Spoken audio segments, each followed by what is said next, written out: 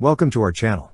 Don't forget to subscribe and put likes, because your support is important for us. And here we go. Armormax Defense, a South African company based in Johannesburg, unveiled its latest innovation, the TAC-6, on April 17, 2024.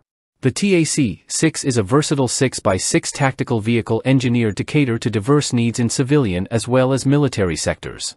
Originally crafted for the French Special Forces, it has undergone enhancements to support tasks spanning from firefighting to secure weapon transit. Derived from the reliable Toyota Land Cruiser 79 series, the TAC-6 by Armormax Defense has undergone significant enhancements.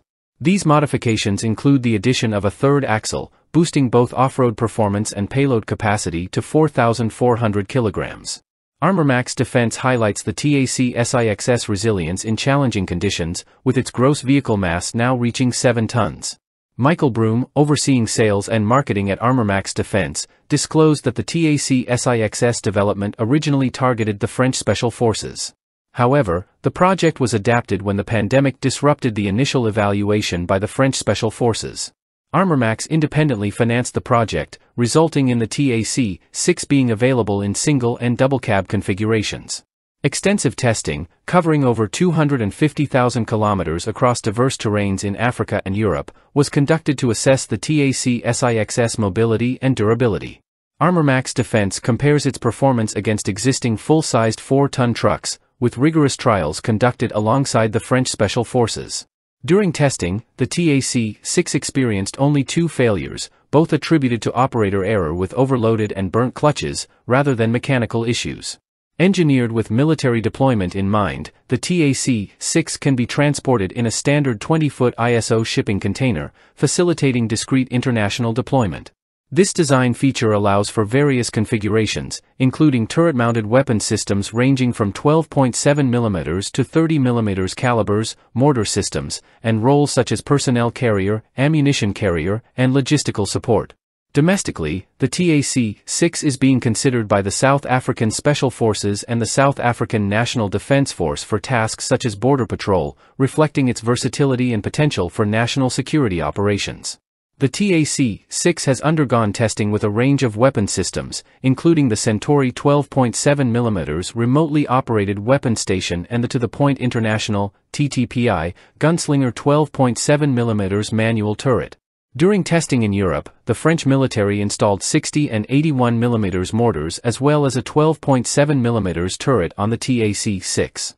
In preparation for upcoming demonstrations like the Africa Aerospace and Defense AAD exhibition, Armormax Defense is collaborating with a global supplier to equip and test an 81 mm mortar. Notably, the TAC-6 is equipped with a hydraulic stabilizer that engages at speeds below 5 km per hour, securing the axle to the chassis to reduce lateral movement caused by recoil from heavy caliber weapons, thus enhancing firing stability for cannons ranging from 20 to 30 millimeters. Regarding protection, Armormax provides various armor options for the TAC-6, including a Stanag Level 1 vehicle armor capable of resisting shell fragments and bullets from 7.62mm and 5.56mm firearms. The vehicle also features lightweight armor and 40mm ballistic glass replacing the original windows.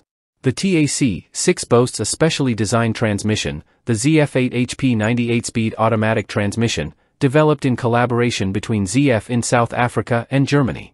This transmission aims to improve performance in high gross vehicle mass, GVM, off-road conditions, replacing older manual transmissions. The vehicle's transfer case utilizes gear drives instead of chains and is constructed from aerospace-grade aluminum, contributing to its structural integrity. Additionally, it utilizes Dana drive shafts and other standard OEM components, simplifying field maintenance. The TAC-6 boasts a unique design featuring a third axle, boosting its traction by 50% compared to conventional 4x4 vehicles. This innovation proves invaluable in sandy terrains, providing exceptional flotation and stability, as noted in trials by South African defense journalists.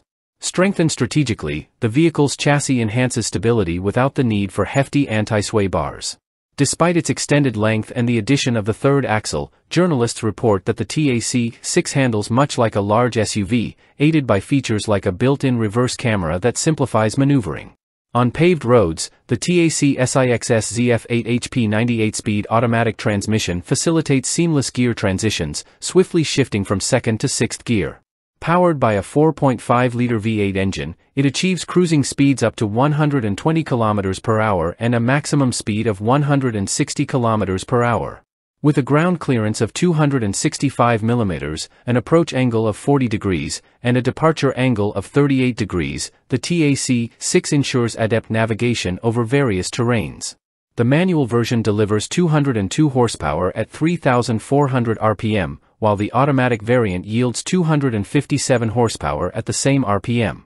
As ArmorMax Defense gears up for the Africa Aerospace and Defense Show in September, pricing for base conversion with a manual gearbox starts at 1.5 million rands, 78,000 US dollars.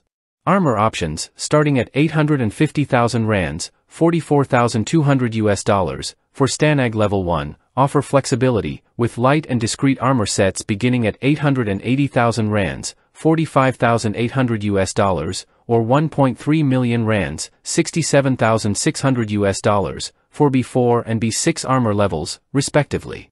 That's all for now, see you later.